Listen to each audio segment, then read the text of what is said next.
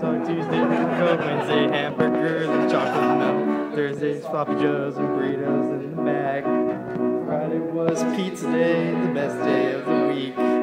Always came super early just to eat. Ready for pizza day. For pizza day. Pizza day. Best day of the week. Yeah!